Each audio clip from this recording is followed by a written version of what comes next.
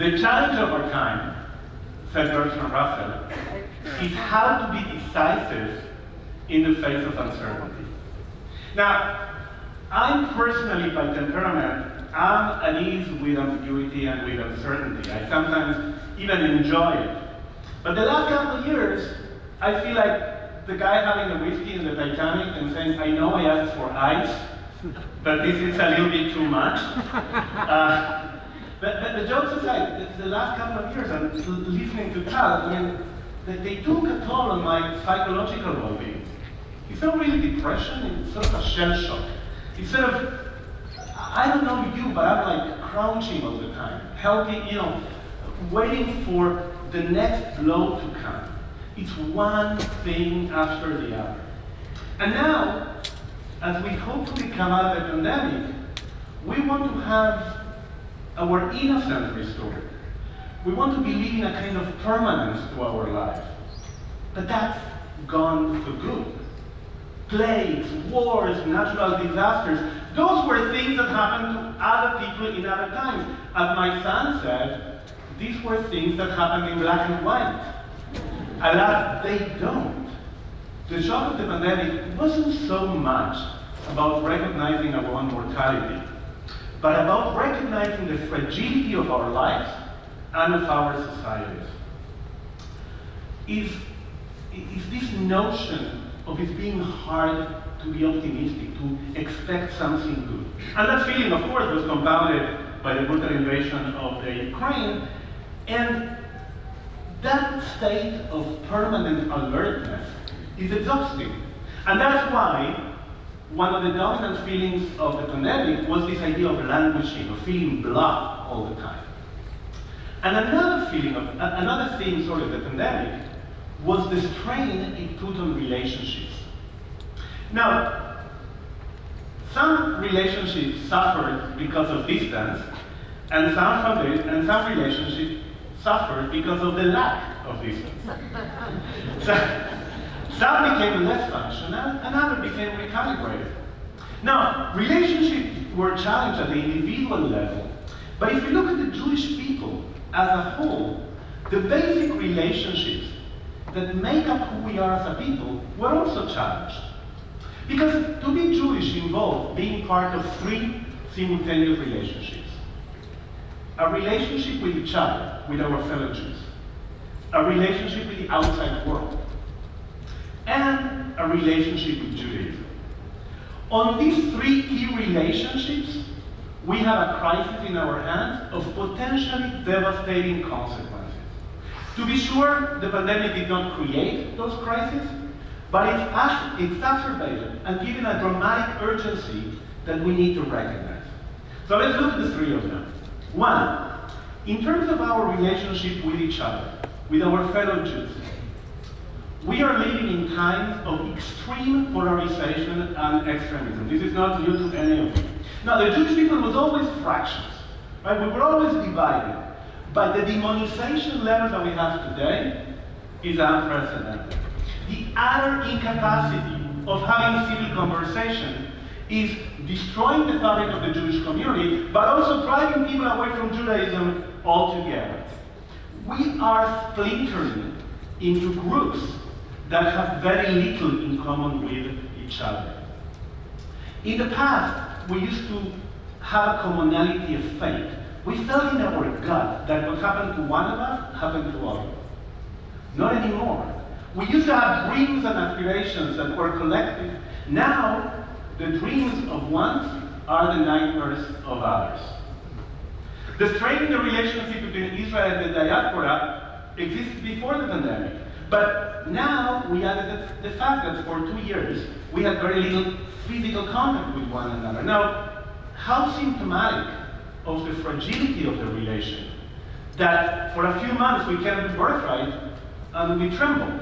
And for 2,000 years we were totally fine keeping a big tie to the land of Israel. Few months without birthright and we trembled. At the local level of in, in North America, we are failing at building an inclusive community. Big chunks of our community, Jews of color, Mizrahi Jews, Haredim, Russian-speaking Jews, they are underrepresented and often patronized in the so-called mainstream institution. In some, we don't have a Jewish public square. It is true that this is, only a, this is not only a Jewish problem, it's a general one. You know, social media, the fragmentation of the society. But we had made the problem worse by feeding the conversation to the extremes. When I see the statistics, I'm both hopeful and infuriated. I'm hopeful because when you look at the surveys, there's only 10% of people on the left and 10% of people on the right that really hold extreme, you know, ex exclusionary positions. But it's infuriating because that 20% dominates the conversation. So, if we're going to rebuild the relationship of Jews with one another, we need to build a coalition of the same. The 80% between the extremes needs to reclaim the conversation. And for that, it's critical that we learn to listen to each other, per Tal's idea, in a very different way. The second relationship in which we have to invest is the relation with the other. And in that realm, the resurgence of anti-Semitism has made the relation with the outside world, for the first time since World War II, one of fear and mistrust. And we may be tired, exhausted, demotivated, but the anti-Semites are not. They have tons of energy and they are inventing ever new ways of attacking us, demonizing Jews and Israel. And let's face it, our track record in fighting anti-Semitism is not stellar. Now, I'm, I'm the first to say that we can't really eliminate anti-Semitism. It's been with us forever and it's going to be for us a long time. But that even what we can achieve, we fail to attain. And that's because, regardless of where we stand politically, we look at anti-Semitism through a lens of ideological rigidity. We're more interested in being right than in being successful. We can, and we don't, resist the temptation of instrumentalizing anti-Semitism to serve our political agendas, and sometimes, sadly, to attack other Jews. The truth is that that whole debate about left and right anti-Semitism is sterile, because at the core, they are one and the same. Both of them believe that the Jews have too much power, both of them believe that Jews control the world, and those of them believe that the world would be a better place without Jews. We're also totally perplexed about how to fight anti-Semitism on social media. Sometimes we think that posting on social media is like buying a full-page ad in the New York Times. It's not just the messaging that we don't know. We don't really know how the dynamics of influence work on social media. And because of that, we have made preaching to the choir into an art form. Now, if we talk about relationships, we also have become worse at building bridges and coalition with others. Again, part of that is the pandemic, but part of that is that we became ideologically rigid and we impose all sort of litmus tests on our would-be partners. And it's very hard to build coalitions when we're not empathetic to the needs of others. The third relationship is that between Jews and Judaism, and that's also in crisis. Again, it's been in crisis for a long, long time. But now it's worse because after every pandemic in history, there has been a monumental quest for meaning. People look for answers, people look for meaning. And if we don't provide ways to Judaism that make it relevant, compelling, and accessible, Jews will look for meaning elsewhere. North America is the safest and richest and most powerful Jewish community in Jewish history. And yet, one of the most Jewishly illiterate. We keep creating shortcuts, gateways to nothing, all paltry substitutes for deep and, mean, and meaningful engagement with our tradition. How is it, I ask myself, that poor communities in Eastern Europe and North Africa had no problem ensuring Jewish education for all their members, and we can't make day school or, summer, or, or Jewish summer camp available, uh, uh, affordable, sorry. We are very, and probably that because we've been very good at creating frameworks for Jewish life but we haven't been that good at adding content to those frameworks. When it comes to Judaism, to use a term in vogue, we've been inoculated. In other words, we receive small doses of it that prevent us from catching the real thing. So I've written about an aspirational goal of providing you know, universal Jewish literacy within a generation. It may be a terrible idea, it may be not feasible, but the point remains, we can't keep talking about Jewish engagement without talking about what we are engaging with. It was a priority before, and it's even a bigger priority now. And let me add a fourth set of relationships that is in crisis now. That is the relationship that Jews have with Jewish organizations. The pandemic made more evident that there are deep cracks in our organizational models, that they are not in line with the needs of the 21st century. Let me tell you something that will illustrate what I mean. The biggest water distribution network in Europe is owned by the Italian railroad system. Now, they own it, they don't use it, but they own it and maintain it. Why do you think that is? Why would they need water? Any idea? Right, it's from when the trains ran on steam. So they needed water for the engines. Now, trains haven't run on steam for more than 50 years, but they still have that water system. So the pandemic exposed the Italian railroad water system that we all have in our organizations. The things that are relics of a different time and don't serve us anymore. Rather than drag us down and they prevent us from operating a truly 21st century paradigm. Now, I know because we averted the worst and organizations didn't fall in a domino effect during COVID, we think that we'll go back to normal, but the pre-pandemic normal wasn't that normal. It was full of hope. Think, for example, about the membership model that many organizations depend on. It was broken before. Are we having any meaningful conversation about how to change it or how to renew it? Let, let's think about leadership paradigms. Are we changing our leadership models in any meaningful way, or do we still believe in the big, in the strong man paradigm and the pyramidal organization in a world that has become much more collaborative and networked? Have we invested in serious thinking on how to introduce technology how to use technology in a meaningful way that is not simply using Zoom, but articulating the virtual with the personal? Now, if all this sounds daunting, it's because it is. And yet, despite our fatigue, despite everything, we're here. Like cicadas emerging out of the ground after a long hibernation, we're here, reconnecting after breaking our fears and anxieties together again in person. We're here, hoping that this spring, finally, will bring renewal and rebirth. And we need to hold on to that feeling. Because we're going to need all the energy and all the optimism in the world to tackle the challenges that we face. The next couple of days, as Jeff mentioned, we're going to expand on all these themes.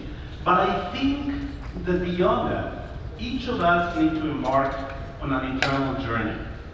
One in which we re-examine our own leadership and deploy the skills and attitudes that we will need in the critical months and years ahead.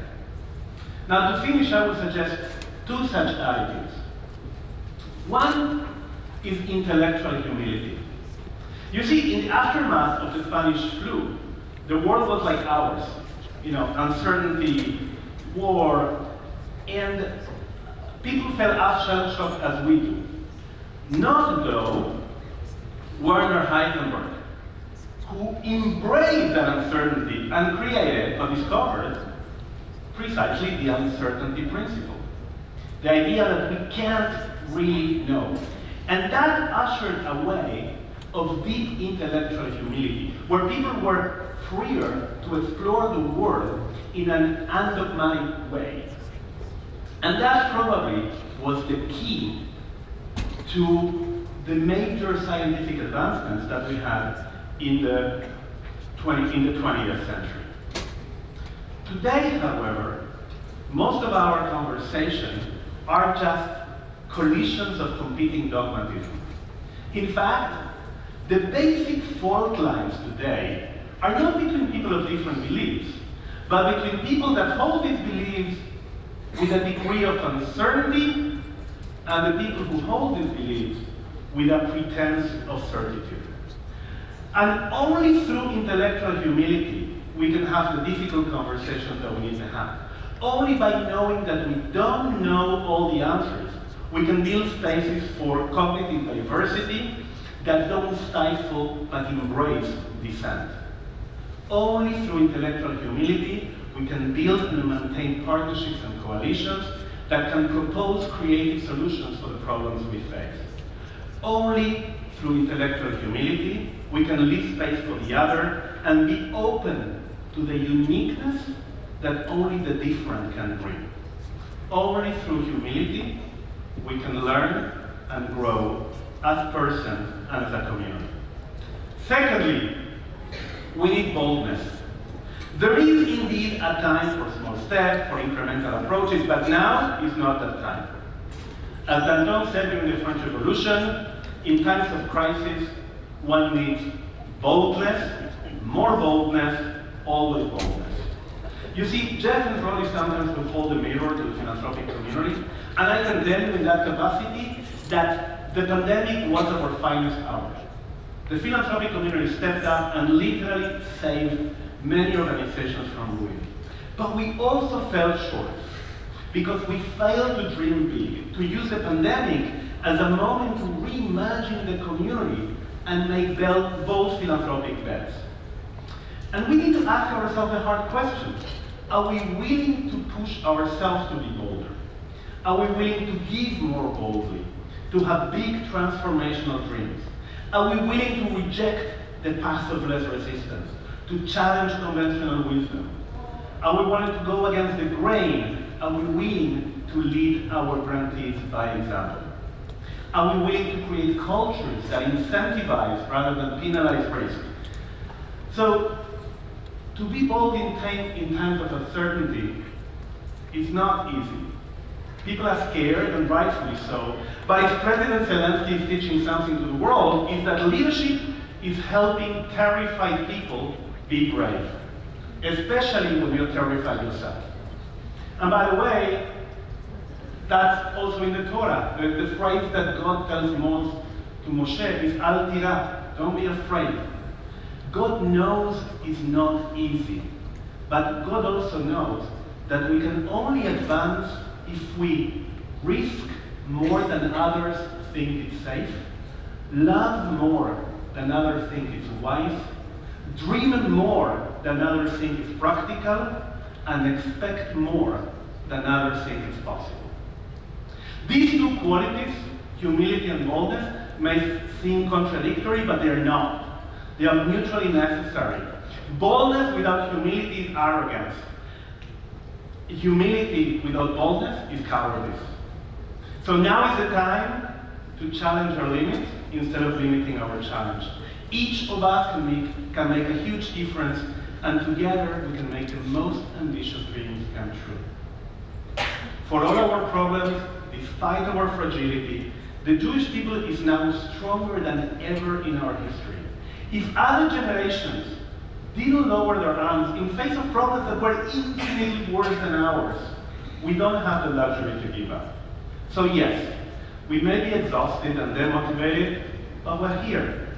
We're here to repair those relations and build new ones, to relearn the art of being a people to get energized, to share our dreams, to discover that not only viruses, but good waves like compassion, passion, energy are also contagious. Yes, these last couple of years and these last months took a heavy toll. But to paraphrase the closing of James Joyce's Ulysses, though much is taken, much abides. We are still that strength which in old days moved heaven and earth. One equal temper of heroic heart, that which we are, we are. Maybe weakened by time and fate, but strong in will to strive, to seek, to find, and never to yield. Thank you.